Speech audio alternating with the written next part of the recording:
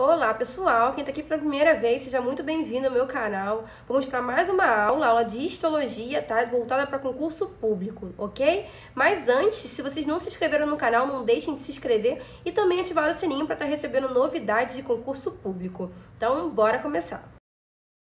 Bom, pessoal, vamos hoje falar sobre tecido nervoso e fechar o módulo de histologia, ok? Vamos lá.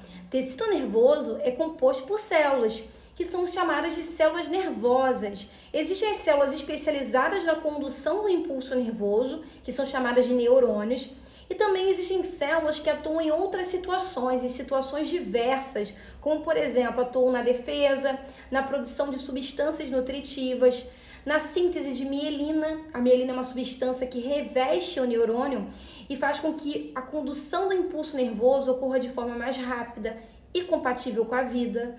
Essas células que atuam em situações diversas são chamadas de gliócitos ou células da glia.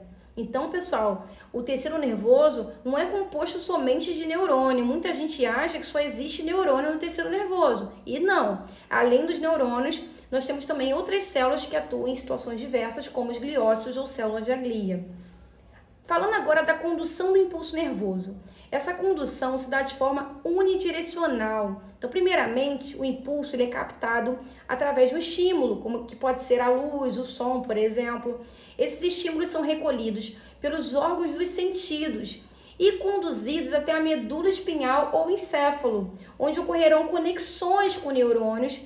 E aí a mensagem, gente, ela retorna. Ela é enviada para um músculo ou para uma glândula. E nesse músculo, provavelmente ele vai contrair e a glândula vai secretar um hormônio, por exemplo. Então essa mensagem que, que retorna, ela retorna para que uma ação seja executada. Bom, pessoal, agora falando um pouquinho de morfologia, da, da forma dos neurônios, os neurônios são compostos por um corpo celular que contém citoplasma e também contém núcleo. E desse corpo celular saem ramificações, que a gente chama de dendrito. Os dendritos são responsáveis por receber as mensagens dos órgãos dos sentidos ou de um outro neurônio. É, e esse, essas mensagens elas são conduzidas por um prolongamento chamado de axônio, também faz parte do neurônio. Existem também os bulbos terminais. Esses bulbos contêm mensageiros químicos, também chamados de neurotransmissores, que são responsáveis em conduzir esse impulso nervoso adiante. Bom, pessoal, agora falando de nervo, os nervos correspondem a feixes de axônios, que são esses prolongamentos dos neurônios envolvidos por um tecido conjuntivo.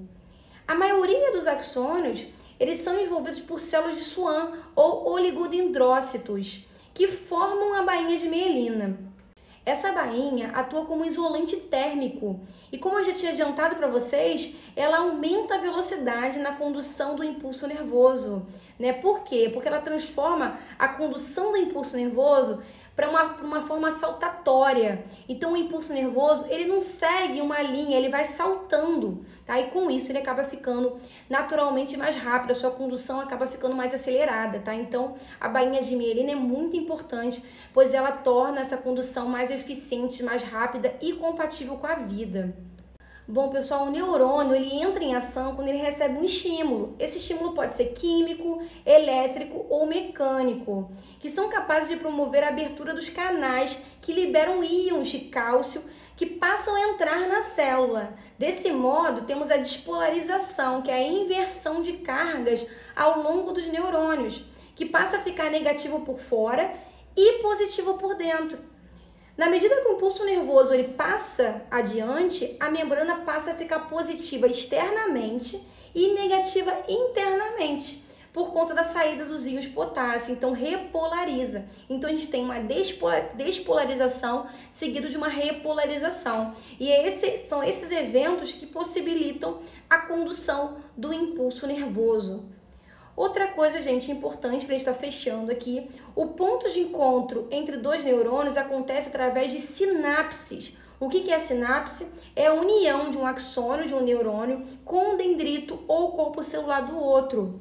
Existe também um espaço ou uma fenda, que a gente chama de fenda sináptica, que é uma descontinuidade anatômica entre os neurônios. É como se tivesse um abismo ali, uma descontinuidade. Bom, os neurotransmissores, por sua vez, eles são eliminados pelo esvaziamento das vesículas sinápticas. E existem diferentes tipos também de neurotransmissores, tá bom, pessoal? Falando aqui brevemente, nós temos, por exemplo, acetilcolina, adrenalina, serotonina, dopamina, noradrenalina, entre outros. Bom, pessoal, vamos fazer uma questão da FGV de 2014 que traz uma figura que mostra de modo simplificado uma sinapse nervosa. E com relação à sinapse apresentada, a gente vai ter que encontrar a resposta correta. Vamos analisar essa sinapse, pessoal. Perceba que nós temos dois neurônios aí, o neurônio 1 e o neurônio 2. O neurônio 1, a gente está vendo o axônio dele. E o neurônio 2, a gente está vendo o dendrito dele.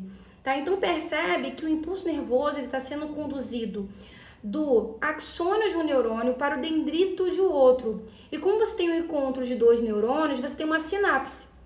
Além disso, você percebe, é, nós conseguimos perceber que existe uma fenda sináptica, esse espaço, tá? Que é essa descontinuidade anatômica, né? Que, a gente, que eu tinha falado para vocês antes. Então, essa descontinuidade é característica da fenda sináptica. Nós não temos o um encontro é, físico entre os neurônios. Esse, essa, essa sinapse está acontecendo de forma química, através da liberação de neurotransmissores. Porque a sinapse química, ela acontece necessariamente através da liberação de neurotransmissores.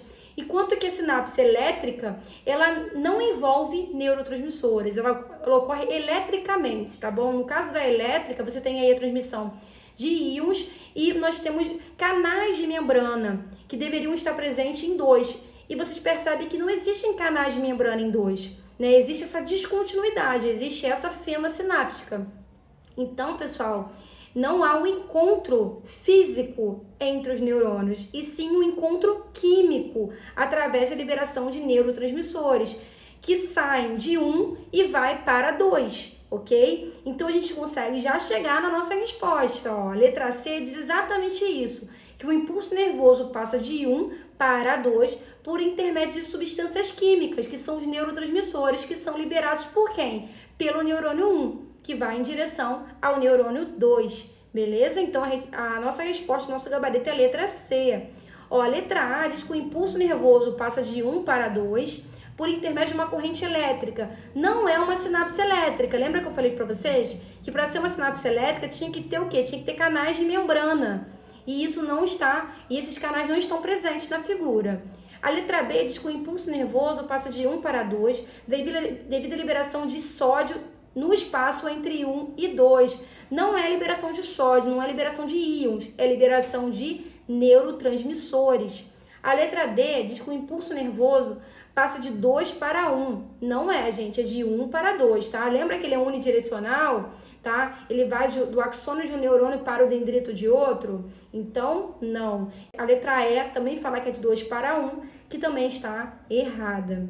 Pessoal, espero que essa aula tenha contribuído para os estudos de vocês. Se vocês gostaram, não deixe de deixar um like e também um feedback, ok? Eu vou deixar aqui na tela final a playlist da FGV só de questão de biologia, ok? Bons estudos e até o próximo vídeo. Tchau, tchau!